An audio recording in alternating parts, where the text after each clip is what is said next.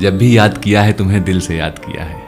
अब तुम्हारे दीदार के खातिर तुम्हारे गली, तुम्हारे घर नहीं आता। अब मैं तुम्हारे दीदार के खातिर तुम्हारे गली, तुम्हारे घर नहीं आता। अरे जाओ, कोई समझाओ उस पागल लड़की को।